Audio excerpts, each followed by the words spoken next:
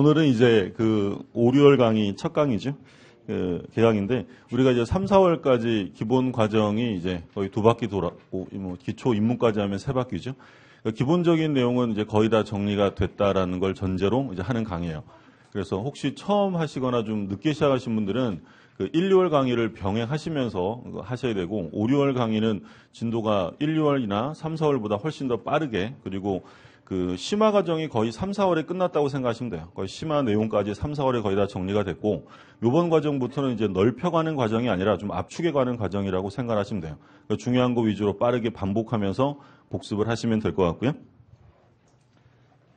기본 이론은 잘 정리되신 거 맞죠? 예.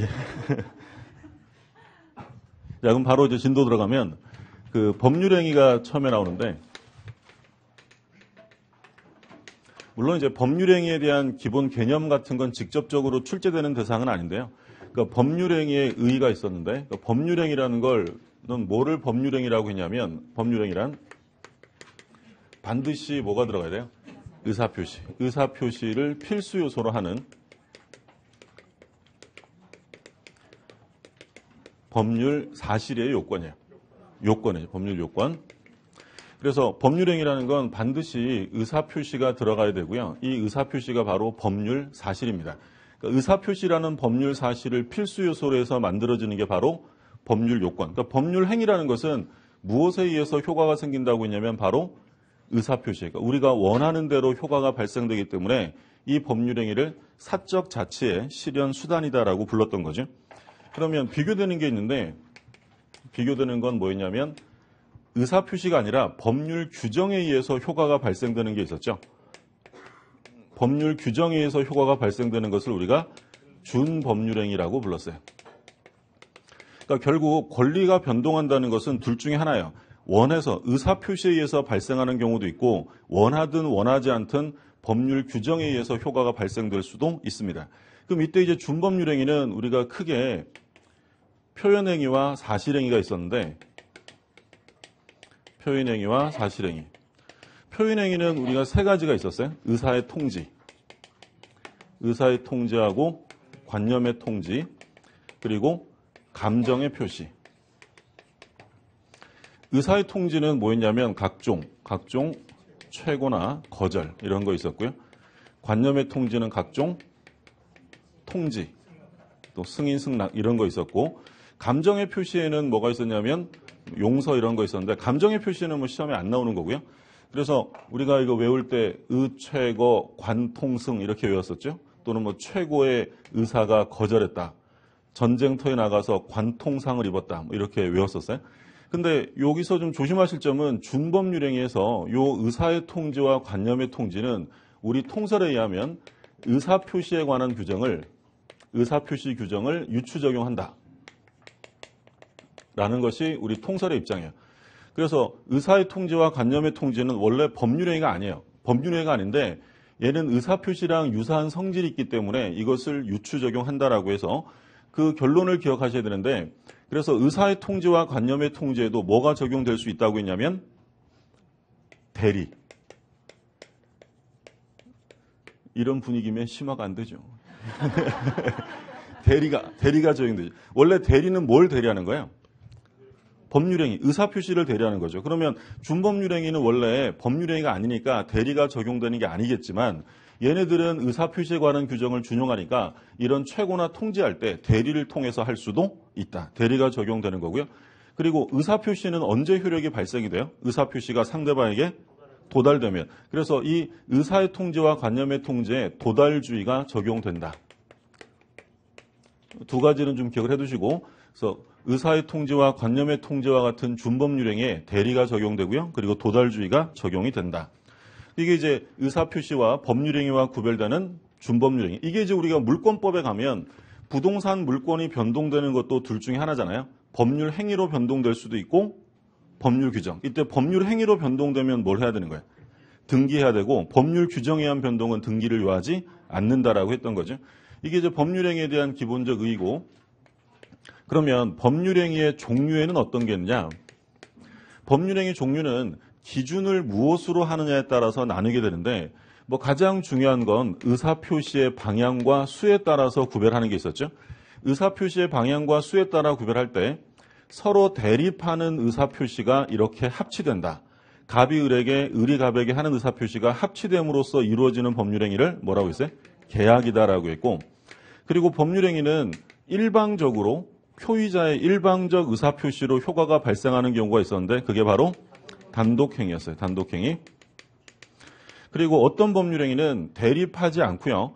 공통적인 목적을 향해서 의사표시가 이렇게 모여드는 법률행위가 있었는데 그걸 뭐라고 했냐면 합동행위라고 불렀죠. 그럼 합동행위는 중요하지는 않고 개념만 보시면 되고 주로 이제 계약과 단독행위를 우리가 공부하는데 그러니까 법률행위 하면 가장 대표적인 게 계약이고요. 그 단독행위 이런 거죠. 그런데 계약과 달리 단독행위라는 것은 상대방의 승낙과 상관없이 일방적으로 원하는 대로 효과가 발생이 될 수 있어요. 그러면 이 단독행위는 다시 상대방이 있는 단독행위와 상대방이 없는 단독행위로 나눴죠. 그러니까 상대방이 있는 단독행위는 뭐가 있었냐면 뭐 여러 가지 있었어요. 취소, 철회, 동의, 추인, 해제, 해지, 뭐 채무 면제, 뭐 상계, 뭐 이런 거 안 해주셔도 된다 그랬어요? 지금쯤이 뭐 단독행위 하면 상대방 없는 것 빼고는 다 있는 거니까 이렇게 쭉 있었잖아요. 왜 굳이 뭐 머리 글자 따서 취철, 동추, 해해 뭐 이렇게 뭐 외우기도 하는데 뭐 이건 뭐 상대방 있는 단독행위고 대신 없는 건 좀 기억하셔야 되죠. 상대방 없는 건 뭐가 있었어요? 유언 유증, 유죄포가 있었죠. 유언 유증 그리고 재단법인 설립행위. 재단법인 설립행위가 있었고 그리고 이제 소유권의 포기. 소유권의 포기는 상대방이 없는데 예를 들어 제한 물권을 포기하는 건 상대방이 있을까요 없을까요? 있죠. 예를 들어 전세권을 포기하는 건 누구한테 포기하는 거야? 소유자에게 포기하잖아요. 그 요건 상대방이 있는데 소유권을 포기한다는 건 상대방 없는 단독행위. 그러니까 통칭해서 그냥 권리의 포기라고 하는데 정확하게 말하면 소유권의 포기는 상대방 없는 행위가 되고요. 그러면 상대방이 없는 행위이기 때문에 여기서 적용되는 문제가 생기는데요. 상대방이 없는 법률행위에 의사표시를 해석하려고 합니다. 해석의 방법은 세 가지가 있었죠. 자연적, 규범적, 보충적 세 가지가 있었죠. 그러면 상대방 없는 단독행위는 세 가지 해석 방법 중에 어떤 게 작용될까요? 자연적 해석이죠. 자연적 해석이라는 것은 당사자의 의사를 절대적으로 존중하는 행위를 자연적 해석이다라고 했고, 그러니까 상대방이 없으니까 누구 입장만 고려하면 되는 거예요? 표의자. 그러니까 만약에 상대방 입장에서 해석을 한다라고 하면 그건 자연적이 아니라 규범적 해석이 되는 거고요. 그래서 자연적 해석을 하게 된다. 이게 뭐 가장 기본적이고, 그리고 도달주의가 도달주의가 적용될 수 없죠. 원래 의사표시는 도달되어야 효력이 생기는데 상대방 없는 행위는 도달주의란 말이 나올 수가 없어요. 그럼 이때는 뭐가 적용돼요? 상대방이 없으면 그 사람에게 발송할 리도 없겠죠. 그럼 이때는 뭐가 적용되냐면 표백주의. 뭐 처음 들었다는 듯이 아 이러시고 그죠? 표백주의가 적용돼. 이번 과정도 진도가 예상보다는 좀 늦어질 것 같아요. 예. 그래서 그 상대방 없는 단독 행위는 지금 보시는 것처럼 요 자연적 해석을 하게 되고 도달주의는 적용될 수 없고 이때는 이제 표백주의 겉으로 표출하는 순간 효과가 생긴다라는 거죠. 그리고 이제 학설의 대립은 있지만 상대방 없는 행위는 통정 허위 표시라는 게 적용될 수 없겠죠. 그렇죠? 짜고 할 상대방이 없으니까. 요게 이제 법률행위 유형에 따라서 계약 단독 행위로 나뉘는 어 유형인데 근데 이 단독행위의 특징적인 점은 처음에 말씀드린 것처럼 계약과 어떤 게 다르냐면 단독행위는 합의가 필요 없어요. 일방적으로 의사표시랍니다. 그러면 표의자가 상대방에게 단독행위를 하게 되면 누구에게 불리할 수밖에 없는 거예요.